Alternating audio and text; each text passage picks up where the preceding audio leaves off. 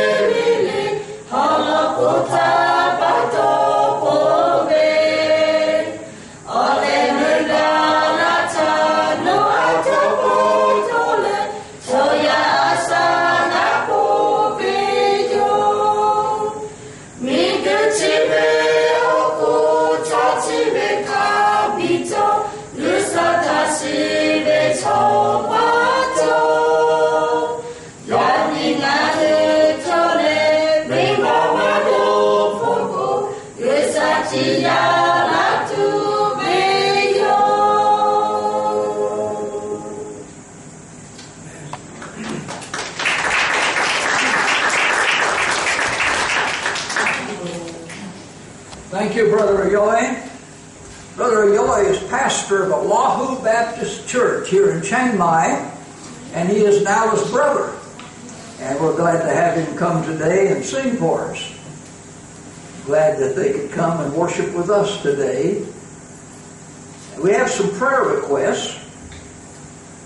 Nala and I are going to be flying to Udon Thani for a meeting, a Bible conference meeting, and uh, we will leave on Wednesday and be back on Saturday, Lord willing. So you pray for our flight and pray that uh, the Lord might use us in the meeting as we preach the gospel there. And uh,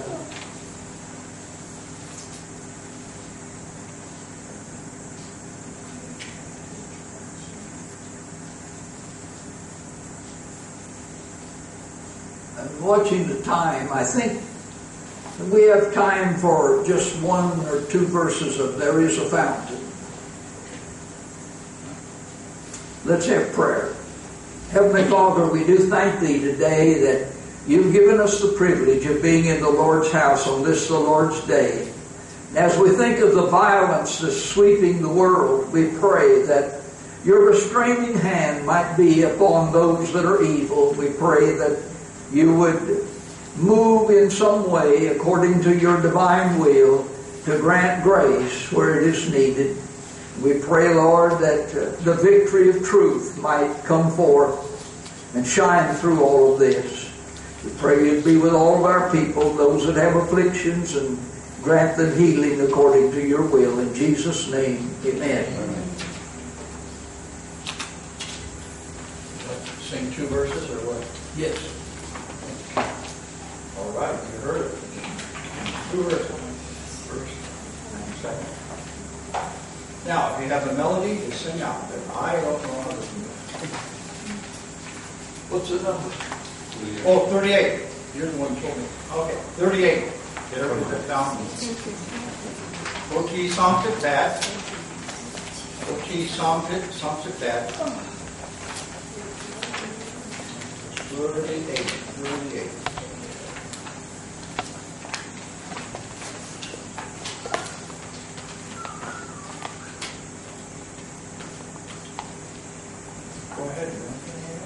Is a fountain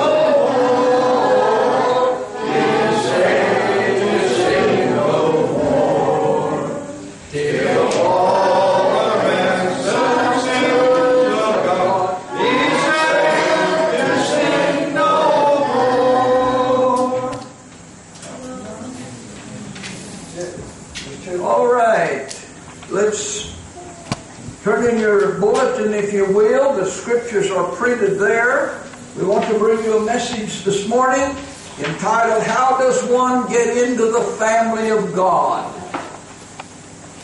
And what are the four marks of God's family members?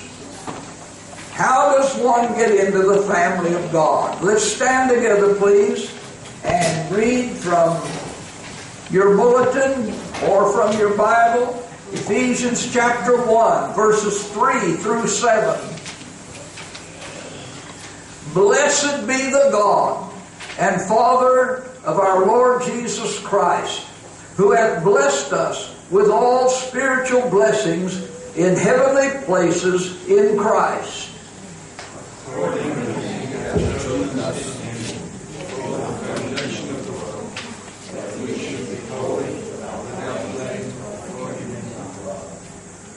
Having predestinated us under the adoption of children by Jesus Christ to himself, according to the good pleasure of his will.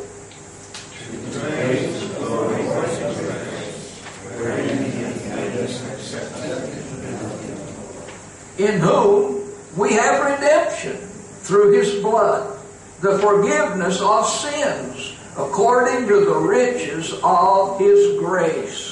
Thank you. Be seated, please. Our subject this morning is adoption. The question, how does one get into the family of God?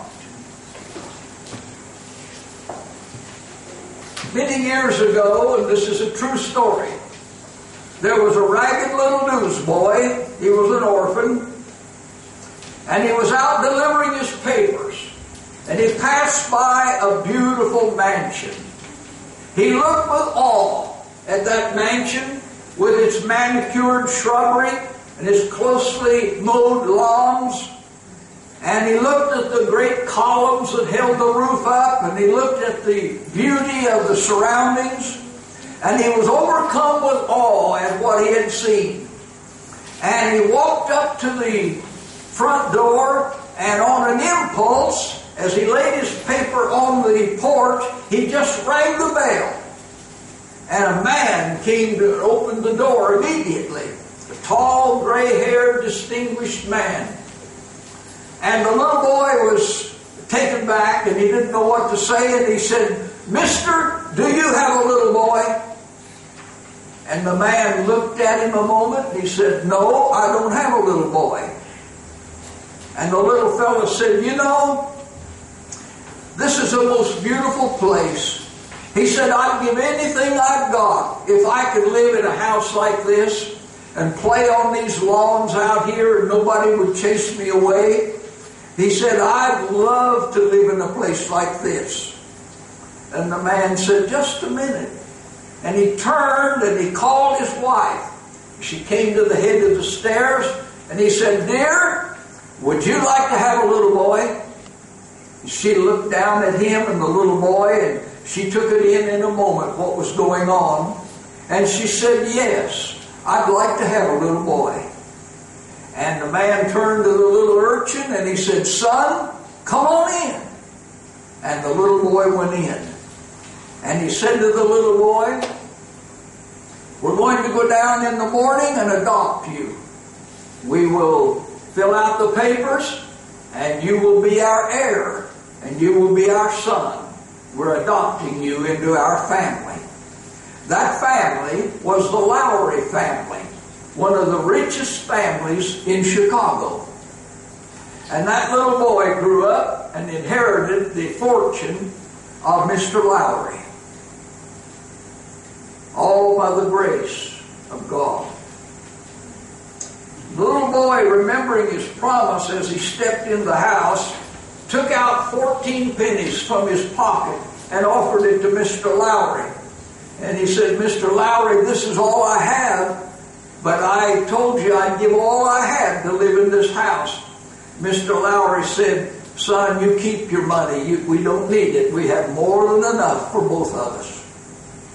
And I thought about that story as I thought of the subject of adoption.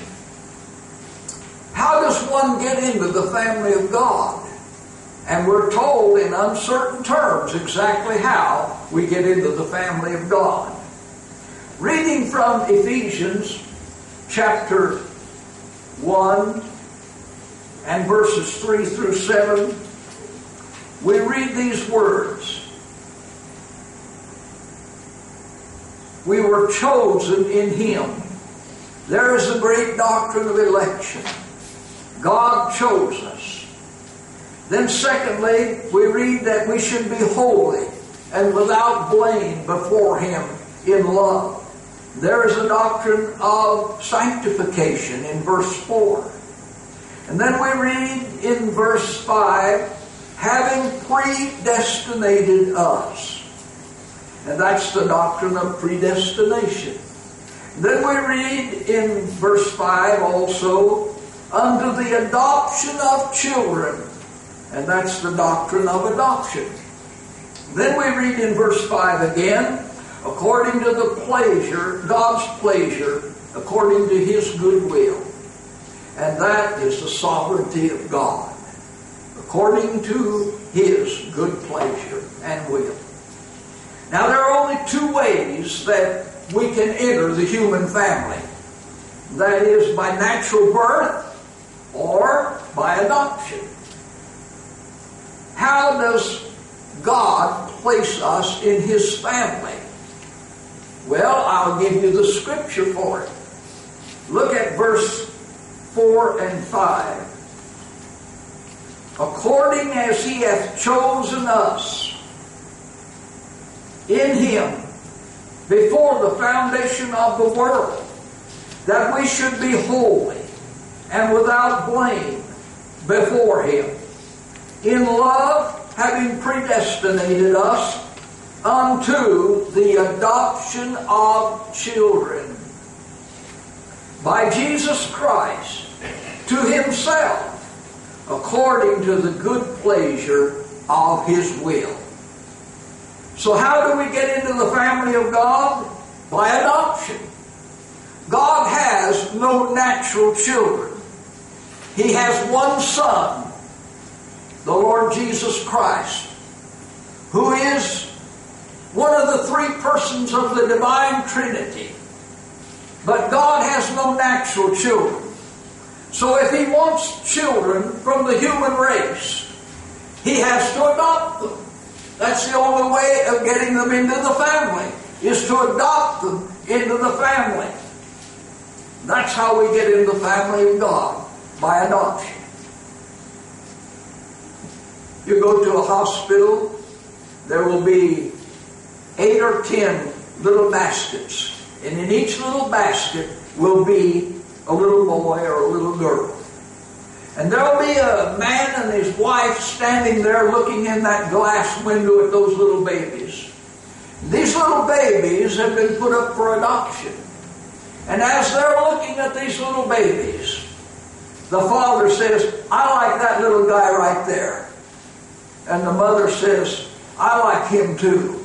Let's adopt him. And so they adopt him. They choose him. And they fill out the legal papers. And they take that little fellow home and he becomes their son by adoption. And getting into the family of God is a legal matter. We are adopted legally by God into His family by adoption. Adoption is one of the great doctrines of the New Testament. And yet you seldom ever hear a sermon on adoption. You seldom ever hear anyone preaching about adoption. But it's, it's a marvelous doctrine.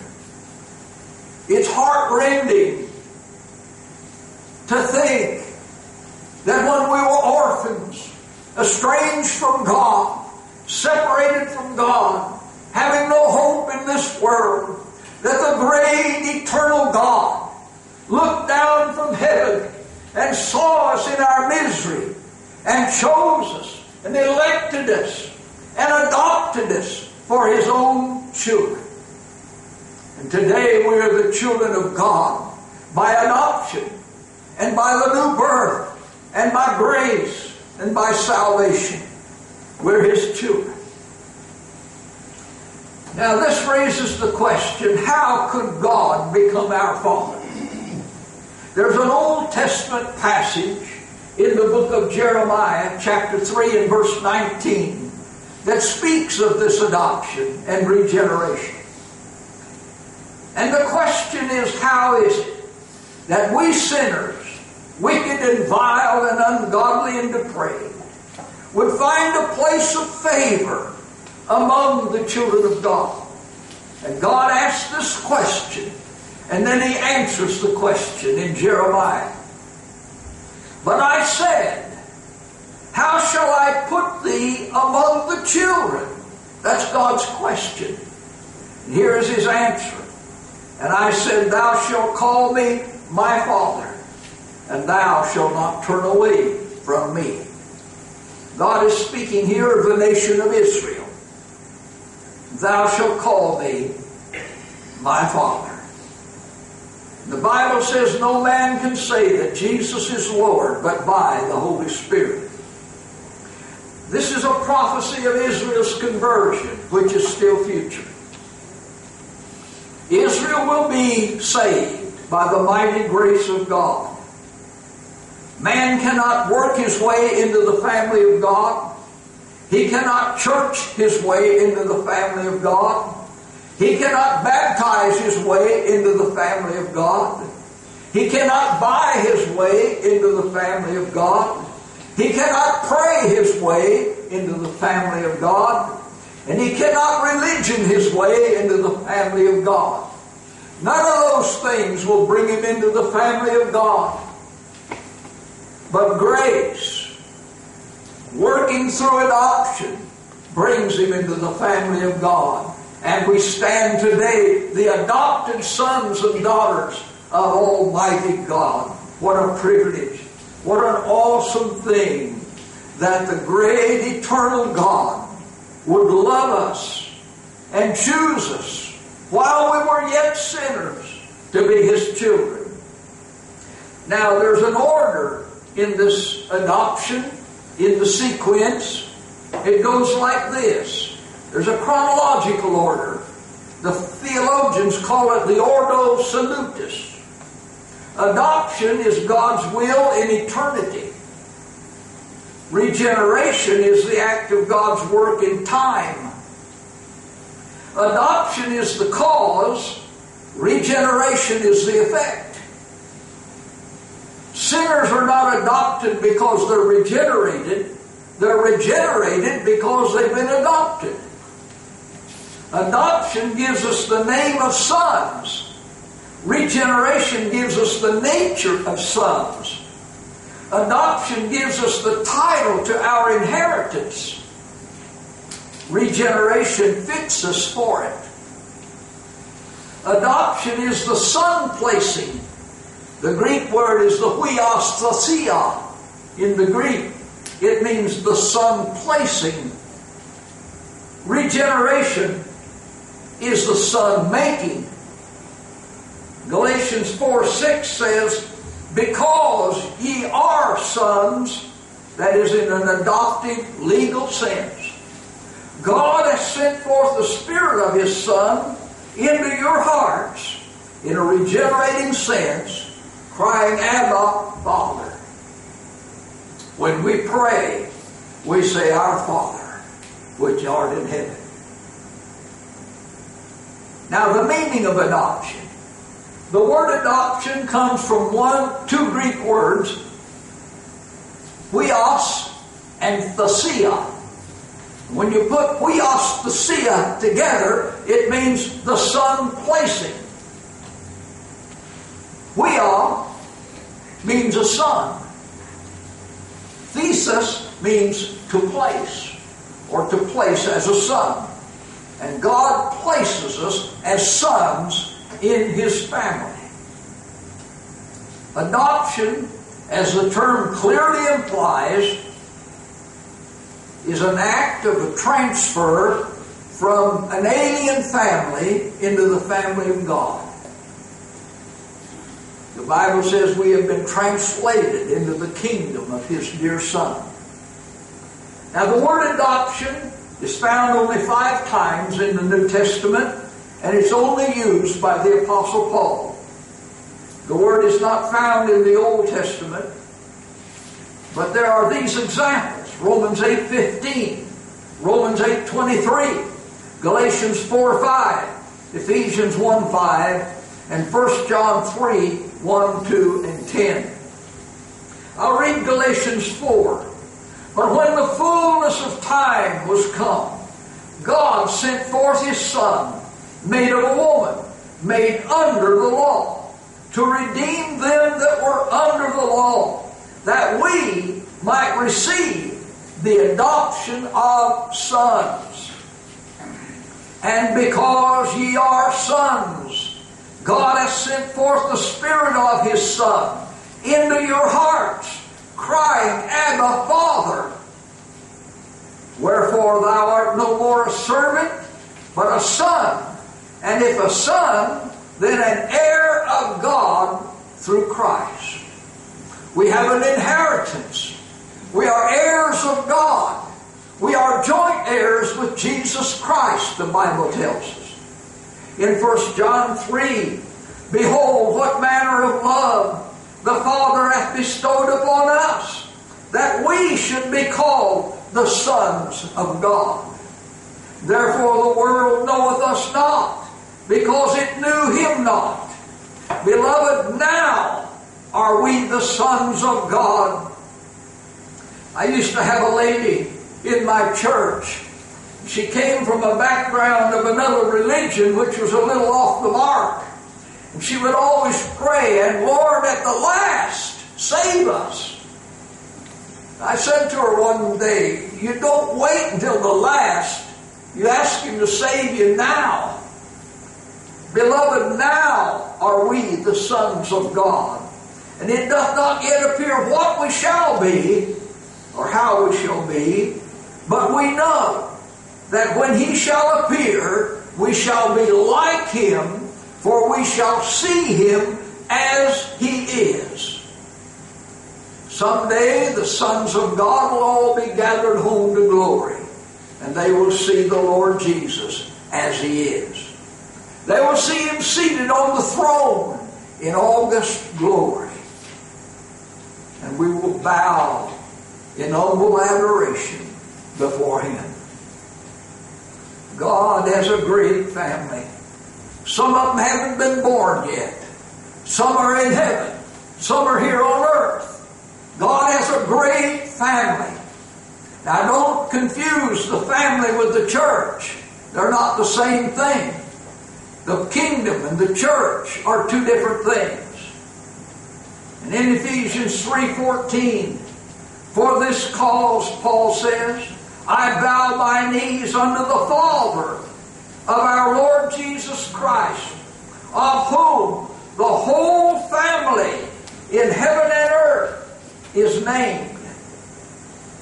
His family consists of sons and daughters. Now there's a threefold sonship in Scripture. Angels are called sons of God, but they're a different class of beings. They're created beings. And in Job 38, the sons of God sang. The morning stars sang together. Job 38. This is sons of God in a creative sense. And then Israel as a nation is called my son in a national sense. And then the redeemed, those of us, are called sons of God in a redemptive sense. And there's a threefold adoption in time. In the past, God's purpose was adoption. In the present, God's action is adoption. And in the future sense, a new body will be promised to us. These scriptural truths seem to run in triads, that is, in threes. There are three separate spheres in which God is operating. There is the kingdom of God, the family of God, and the church of God. These are three different realms. We are born into the kingdom of God. Jesus said to Nicodemus, Except a man be born again, he cannot see nor enter the kingdom of God. We're born into the kingdom.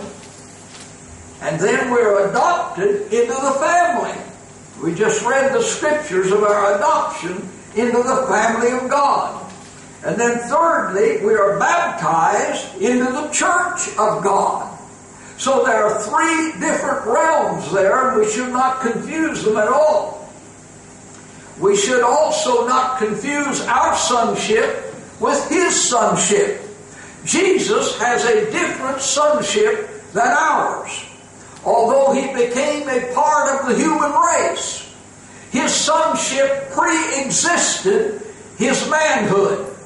He dwelt in eternity past as God the Son, and he never had a beginning. He is the eternal one. And so his sonship is different from ours. We call him our elder brother. And he is in his humanity. But in his deity, he never became the Son. He has always been the Son. Micah 5 2 says, Kiss the Son, lest he be angry and you perish in the way. Now, Micah was written hundreds of years before Christ took upon manhood through the virgin birth of Mary. That's an important distinction, distinction to make because many of the liberal preachers today are trying to make Jesus an adopted son. Jesus was never adopted. He's always been God's son. In Hebrews chapter 1, we read, For unto which of the angels said he at any time, Thou art my son, this day have I begotten thee. Now that day is the day of eternity, which doesn't have a beginning. And again, I will be to him a father, and he shall be to me a son. And again, when he bringeth the first begotten into the world, he saith, And let all the angels of God worship him. And of the angels he saith, Who maketh his angels spirits, and his ministers a flame of fire. But unto the Son he saith, Thy throne, O God, is forever and ever. A scepter of righteousness is a scepter of thy kingdom. Now, when a Jehovah Witness or a Mormon knocks on your door and begins to peddle literature to you and wants to read the Bible to you, ask them if they believe Jesus is the Son of God. And they'll say, Oh, yes, we do. Then ask them, Do you believe He's God the Son? And they'll say, Oh, no. You see, they try to fool people by claiming that He's the Son of God, but then they turn right around and deny that He's God the Son. They deny His deity. They deny that He's God Almighty. And they're not saved. And here's the verse that you need to give them. Chapter 1 verse 8. But unto the Son he saith, Thy throne, O God. Of them asked me one day at the door, he said, If you could show me one verse of Scripture where the Bible says that Jesus is God, then they said, I'll quit the Jehovah Witnesses and join you Baptists. I said, Really? You would do that? Yeah, if you can show me one Scripture where it says Jesus is God. I said, Sir, I just happen to have such a scripture. And I opened my Bible and I read him this verse. Thy, but unto the Son, that's the, the Son of God, the Father is speaking here. He, the Father, saith, Thy throne, O God, is forever and forever. I said, Are you ready to be a Baptist? Oh, no, no, no. He said, he ran off. You see, the proof was presented to him. He wouldn't accept it. He lied to me. He thought he was being, you know, really smart by challenging me to show him something that he didn't know was in there. Evidently, he had never read the Bible much. Jesus is the eternal Son of the living God, and He is God, the eternal God. And you can't make Him any less than God. He is God Almighty. There are three persons in the divine Godhead the Father, the Son, and the Holy Spirit. But there's only one God. You say that's a contradiction. No, it's only a lack of your ability to fathom the depths of God Himself. We have finite, infinite minds. God is an infinite God. And our finite minds cannot reach high enough to discern and understand and know how one could be three and three could be one. But you see, we're not saved by intelligence, we're saved by grace. And grace tells us that there are three persons in the Trinity, but only one God. And don't use human illustrations. Human illustrations break down. They don't go far enough. You don't have human illustrations that can explain this. You take it on faith because the God who cannot lie said it. We believe the Bible. It is the Word of the living God. And for thousands of years, men have tried to tear the Bible down and find discrepancies, and they have never yet found it. There's not one error in the Bible. You cannot find errors in the Word of God. The Hebrew and the Greek were divinely inspired by Almighty God. And there's never been an error found in the Greek or the Hebrew language in which our Bible was written. So we accept the Word of God. And the Word of God tells us about the divine Trinity. When Jesus was being baptized in the Jordan River, there stands Jesus in the water. And the Spirit of God descended upon him in the form of a dove. And the Father spoke from heaven and said, This is my beloved Son. Hear ye him. So all three persons of the Trinity were separately manifested at the baptism of Jesus. That's good enough for me. I don't have to understand how electricity works. I go in the darkened bedroom and I know where the switch is and I flip the switch. I don't know how that electricity comes into the house. I don't need to know. I'm not an electrician. I don't care how it gets there as long as it gets there. And you see, I don't have to understand everything in the Bible or understand everything God does to believe Him. I believe Him. I believe Him because I'm saved. And every saved person will believe the Bible. Now, in the fourth place, the time of adoption. I'm not going to spend time on that this morning because we don't have the time, except to say that we were adopted in eternity past before He flung the worlds into space. Before by divine fiat He created the mountains and the lakes and the oceans. He issued a decree, a decree of adoption. That these will be mine.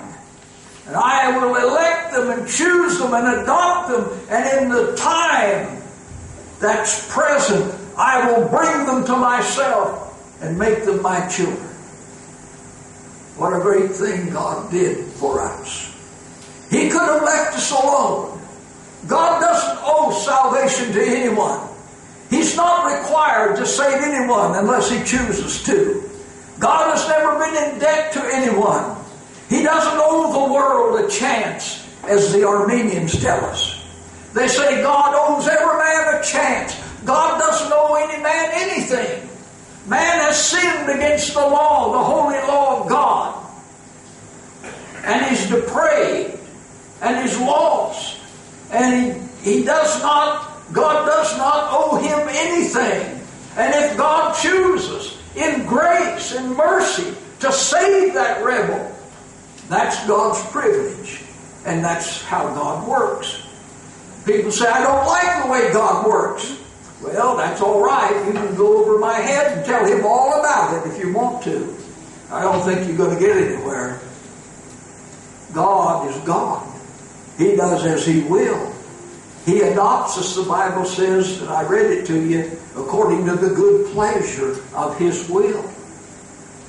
Now, He's a loving God, a merciful God.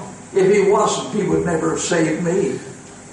But His mercy goes out to sinners. The call goes out, Come unto me, all ye that labor and are heavy laden, and I will give you rest. You see, the only reason people go to hell is for their sin and because they don't want God. Now, there's a wonderful thing about adoption. Did you know that in the law courts, an adopted son can never be disinherited? Can't do it. If you leave an inheritance to a son and then change your mind, that's too bad. If it's been legally ratified, you cannot take away his inheritance. And once God gives eternal life to a poor sinner, he never validates it, invalidates it, he never takes it away. I give unto my sheep eternal life, and they shall never perish. Never means never. But what if? Forget the what is. Never means never. I give, that's grace. Unto my sheep, that's my adopted ones. Eternal life. And they shall never perish. That's what Jesus said. John chapter 10. If God has saved you, you have an inheritance. And if you think that little boy became rich when he met Mr. Lowry, it pales into insignificance when you think about how rich you are when you met Jesus. When you met Jesus, all that Jesus owns is yours. The Bible says we are joint heirs together with Jesus Christ. To think that all the possessions of this world which belong to Christ are also ours. When I look at the beautiful mountains and the beautiful lakes and the oceans, I say those belong to me. That's my property because it belongs to Christ. And I'm a joint heir with Jesus Christ. A joint heir. Now, God didn't have to make us joint heirs, but He chose to. How rich we are this morning, and how poor are those that are not His. Here's the witness of adoption. Romans 8:14. For as many as are led by the Spirit of God, they are the sons of God. For ye have not received the spirit of bondage again to fear. Most religions hold their people through fear. But ye have received the spirit of adoption, wherein we cry, Abba, Father. The Spirit Himself beareth witness with our spirit that we are the children of God. I have a witness in me that tells me I am a child of God. That's the Holy Spirit. And if children, then heirs, heirs of God, and joint heirs with Christ, if so be that we suffer with Him, that we may also be glorified together. For I reckon that the sufferings of this present time are not worthy to be compared with the glory that shall be revealed. Now, I'll mention briefly the four marks of God's children. When they get into the family of God, they're marked by four marks. Just as a cattleman brands his cattle with his brand, just as a sheep herder brands with paint his own sheep so that he can identify them from other sheep when they mix with other flocks. God puts his mark upon his people. And I'll briefly mention the four marks. There's the blood mark in Exodus 12 13. Only God sees that mark. God has marked me, but you can't see the mark. Only God can see the blood mark. In Exodus chapter 12, we have the blood mark. Israel's in the land of Egypt. They're slaves in Egypt. God is going to pass over the land of Egypt that night. The death angel's going to smite every person where the blood has not been applied to the doorpost. You'll see the picture in the bulletin. For I will pass through the land of Egypt this night, and will smite all the firstborn in the land of Egypt, both man and beast, and against all the gods of Egypt will I execute judgment. I am Jehovah. I am the Lord. And the blood shall be to you for a token upon the houses where you are. If you have a bulletin, please turn and look at that picture. This is what Israel had to do. They had to apply the blood to the doorpost. And God says in verse 13 of Exodus chapter 12, When I see the blood, you see, it's not for you to see, it's for God to see. I can't see the blood, but God sees it. I'm marked with the blood of Christ. When I see the blood, I will pass over you, that is in judgment. I won't fall upon you, I'll pass over you. And the plague shall not be upon you to destroy you when I smite the land of Egypt. God says, I'm going to look for blood. And as I come over the land of Egypt tonight in judgment, wherever I see the blood on the doorpost and the lintel, I'll pass over. There'll be no judgment on that house.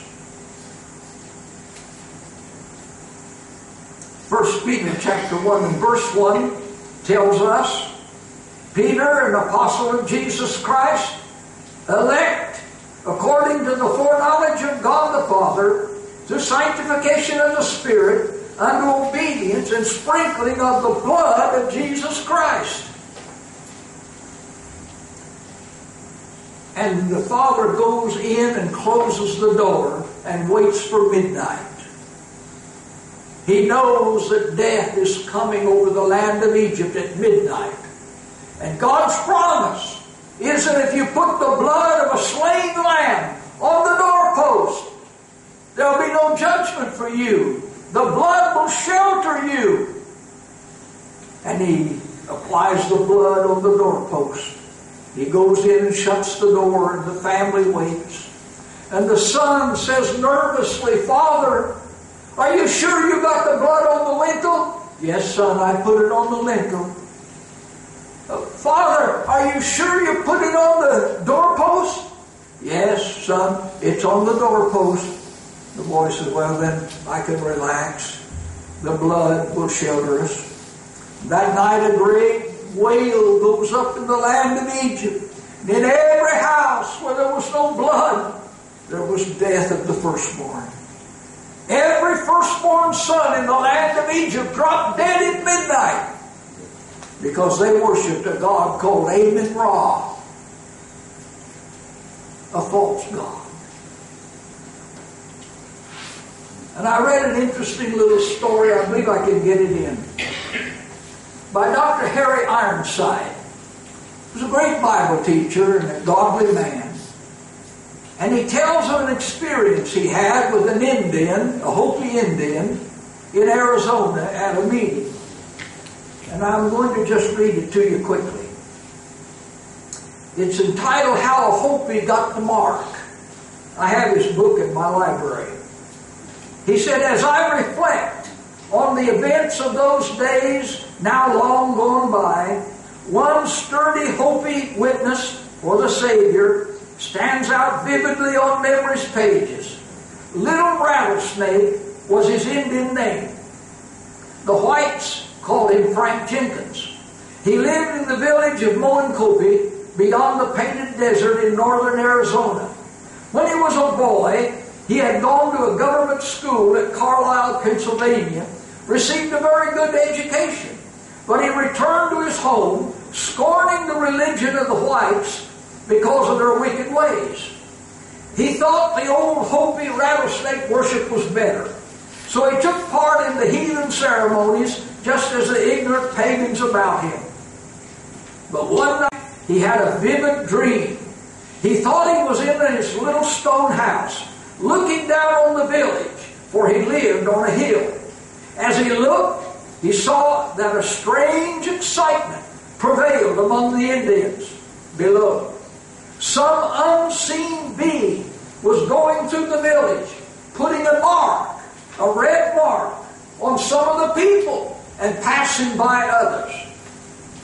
He put the mark on Mr. Frey, the missionary, and on Mrs. Frey, his good, kind wife. The Indians who had left the old wicked life behind and had taken the Jesus way all got the mark, but the rest were left as they were. I asked him once, What kind of a mark was it, Frank? He replied, A mark like a Navajo puts on his sheep. Each sheep owner has his own way of marking the animals belonging to him using a red ochre paint for that purpose. Frank pondered over the strange sight. As he dreamed on and he felt there was something very important connected with the mark, and he hoped it would be placed upon him and his wife. The strange visitant, however, did not come near the house, and soon it was evident he had gone. Suddenly there was a great noise above, a great big shout, he told me. And in a moment, all the people who had the mark were caught up in the air and gathered around a wonderful person who was brighter than the sun. Then all became dark below, and little rattlesnake could hear the wailing of the people who were left behind. And his heart was filled with fear. He was so frightened that he awoke. But when he went to sleep, he dreamed it all again. Once more he awoke. It is God telling the Christians, telling me that the Christians are right. I too want the mark, he said. Again he slept, and the third time he dreamed the same dream. For days he was in distress. He knew that the conference was to be held at Camp Eldon. He came, and as he entered the preaching pavilion, I was speaking to a company of Indians and whites on the Passover and the blood mark on the doorposts and the lintels of Egypt. When I see the blood, I will pass over you, was Jehovah's word. Ah, said little rattlesnake to himself in great agitation, that is it. That is the red mark I saw in my dream. I had quoted several scriptures speaking of the precious blood of Christ, by which we are redeemed to God, and which cleanses from all sin. And he exclaimed as he rose to his feet, I see it, I see it, I've got the mark. I did not know of his dream, so I was bewildered until he explained it to me. And that night he came to the Savior, confessing his sins, and was marked with the sign of redemption, the precious blood of Christ. Now we don't put much stock in dreams. But you know, God is not confined. He can work any way He wants to. And in this particular instance, He chose to use that dream to awaken little Frank Rattlesnake to his realization of his need of being saved. That's the blood mark. And every adopted child of God has that blood mark. He can't see it, but God sees it, that's enough. Secondly, there's a suffering mark. The Christian life is not a bed of roses. When Norman Vincent Peale and these psychologists tell you that everything is just lovely, everything is not lovely in the Christian life. There's suffering, there's disappointment, there's heartaches, but with all of that, it's still the only way. But there is a suffering mark, and that's a mark that we see. We see our suffering. Job was an outstanding sufferer. And he said in chapter 16 and verse 12, I was at ease, but he hath broken me asunder. He hath also taken me by my neck and shaken me to pieces and set me up for his mark. Job said, God has taken hold of me and shaken me to pieces. Sometimes God has to shake people to pieces nearly to get them to wake up.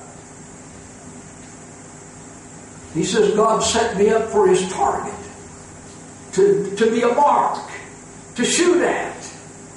And it was true because God had set him up in a contest with the devil to let the devil shoot at him to prove that Job loved God. And then Job could say, Thou hast granted me life and favor, and thy visitation hath preserved my spirit. No matter what Job went through, lost his wife, his children, his family, his possessions, his health, he lost everything but his faith in God. And when God was through testing him, he could say, Thy visitation hath preserved my spirit. Satan couldn't break Job down. He can't break us down, but he tries.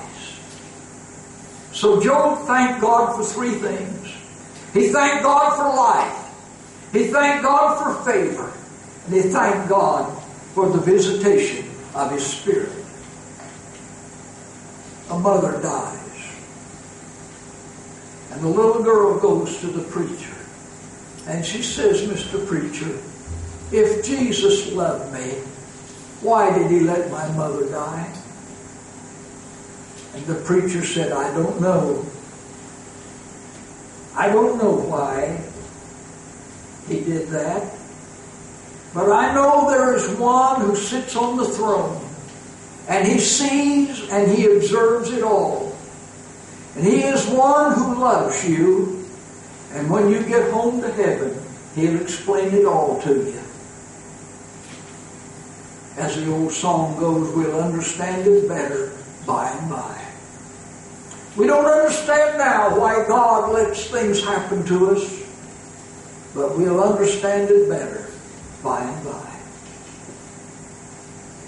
Blessed be the God, even our Father, the Lord of our Lord Jesus Christ, the Father of mercies, the God of all comfort, who comforteth us in all our tribulation, that we may be able to comfort them which are in any trouble, by the comfort wherewith we ourselves are comforted of God.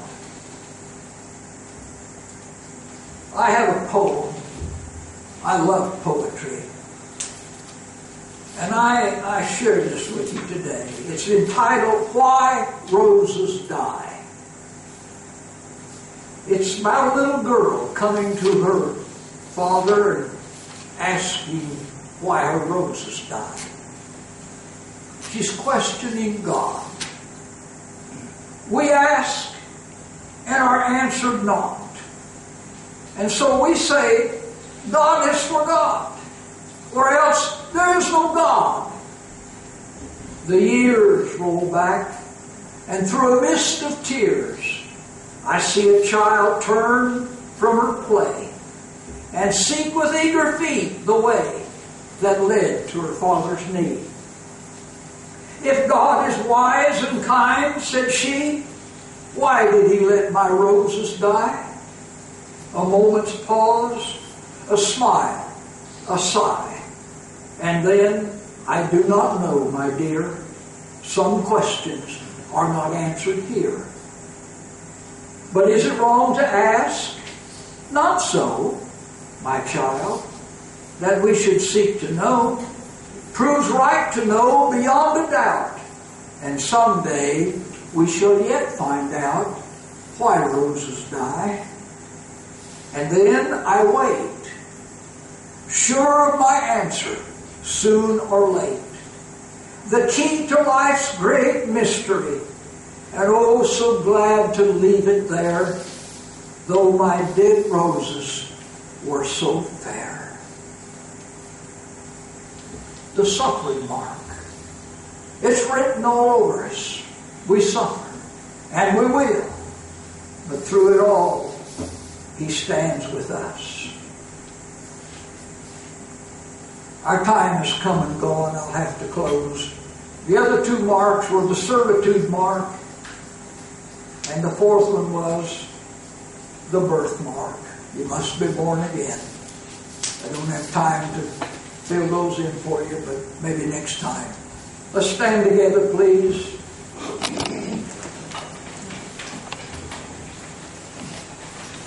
It may be here morning that one has become a believer in Christ. You'd like to confess in public that you have become a Christian, would you come as we sing just one verse of Just As I Am? Just as I am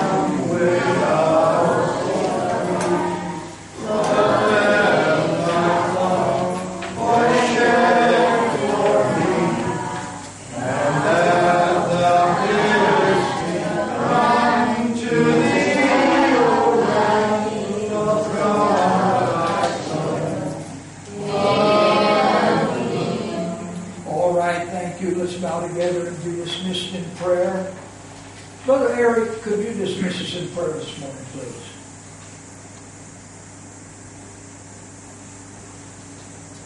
Almighty and everlasting and acceptable God, our Heavenly Father, by whose power we, power we are created, and by whose love we are redeemed. We thank you for the words passed on to us today. We thank you for your sacrifice in this message. Guide us and strengthen us by your Spirit, that we may dedicate ourselves to your service and live our days in love to one another and to you. Through Jesus Christ, your Son, our Lord and Savior.